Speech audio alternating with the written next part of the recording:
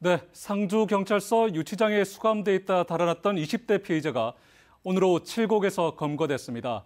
도주 22시간여 만입니다. 경찰의 피해자 관리는 허점 투성이었습니다. 피해자는 지인과 면회 도중 창문을 통해 빠져나갔는데 당시 함께 있어야 했던 경찰관도 없었고 도주 통로가 됐던 유치실 창문에는 방범창도 없었습니다. 보도에 윤소영 기자입니다. 상주경찰서 유치장에서 도주했던 21살 최모 씨가 검거된 곳은 63km 떨어진 칠곡군 석저급의 한 원룸. 도주 21시간여 만인 오늘 오후 4시 55분 다시 경찰에 붙잡힌 겁니다. 최 씨는 어제 저녁 경찰서를 빠져나와 지인의 도움으로 승용차를 타고 상주에서 칠곡 인근까지 간 것으로 확인됐습니다. 상주경찰서는 경북지방경찰청과 공조로 경찰서 주변 CCTV 분석을 통해 최 씨를 태워준 공범을 붙잡아 은신처를 추적했습니다. 최 씨는 어제 저녁 7시 5분쯤 상주 경찰서 1층 면회실에서 지인과 면회를 하던 중 내부 계단을 타고 사용하지 않던 2층 숙직실 창문을 통해 달아났습니다.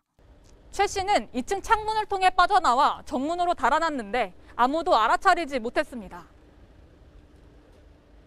도주 당시 면회실에는 입회에 있어야 할 경찰관이 없었습니다.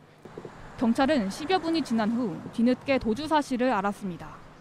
그 당시 현장에서 근무자가 있었지만은 직무 태만이었는지 뭔지 그 여부는 저희들 내부적으로 자체 조사 중입니다. 그래서 2층으로 올라가는 면회실 밖 계단의 출입문은 환기를 시킨다는 다소 황당한 이유로 열려 있었고 도주한 2층 숙직실 창문에는 따로 방범창도 없었습니다.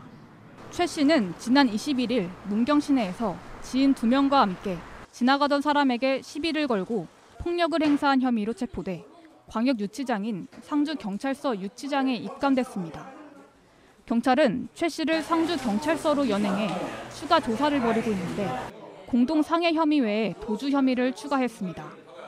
또 경찰서 유치장 관리 책임자에 대해서는 감찰 조사를 진행할 계획입니다. MBC 뉴스 윤소영입니다.